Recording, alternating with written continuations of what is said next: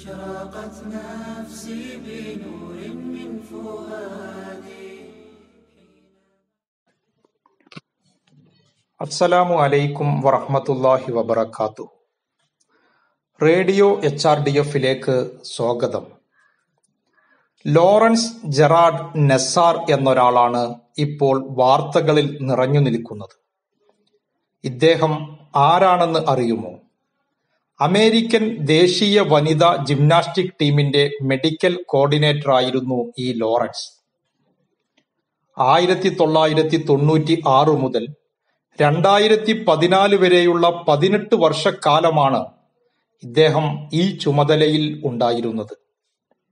അതുതന്നെയാണ് ഇപ്പോൾ ലോകം മുഴുവൻ ചർച്ചയായ തീരുമാനവുമായി വനിതാ കായിക താരങ്ങൾ രംഗത്ത് വരാൻ ഇടയായതും.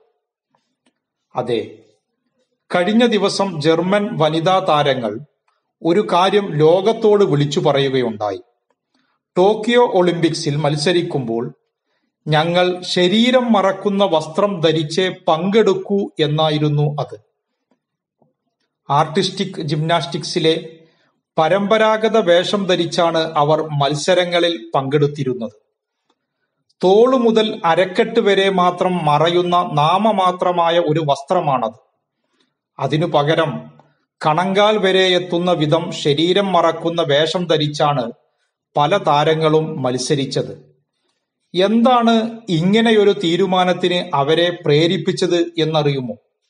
അവിടെയാണ് നേരത്തെ പറഞ്ഞ ലോറൻസ് ജെറാർഡ് നെസാർ കടന്നുവരുന്നത് അമേരിക്കൻ ദേശീയ വനിതാ കായിക താരങ്ങളുടെ ചുമതലയുണ്ടായിരുന്ന ഇയാൾ ഒന്നും രണ്ടുമല്ല നൂറുകണക്കിന് കായിക താരങ്ങളെയാണ് ലൈംഗികമായി പീഡിപ്പിച്ചത്. പല കേസുകളിലായി നൂറ്റി എഴുപത്തിയാറ് വർഷത്തെ തടവു ശിക്ഷയാണ് അയാൾക്കെതിരെ കോടതി വിധിച്ചിരിക്കുന്നത്.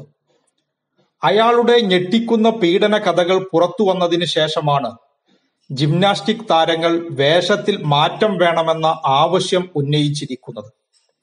അതെ വസ്ത്രവും സുരക്ഷയും തമ്മിൽ ബന്ധമുണ്ട് എന്ന് പറയുമ്പോൾ ചിലർക്കെങ്കിലും പ്രശ്നമാണല്ലോ. ഏതായാലും ഇരകൾ തന്നെ അത് പരസ്യമായി പറഞ്ഞു കഴിഞ്ഞു.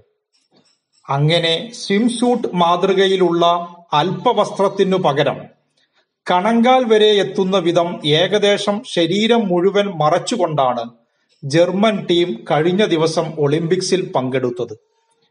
ജർമ്മൻ ടീം അംഗം സാറ വോസ് പറഞ്ഞ ഒരു കാര്യമുണ്ട്. പുതിയ തലമുറയ്ക്ക് ജിംനാസ്റ്റിക്സ് സുരക്ഷിതമായ ഒരു ഗെയിമാണെന്ന തോന്നലുണ്ടാക്കുകയാണ് തങ്ങളുടെ ലക്ഷ്യം.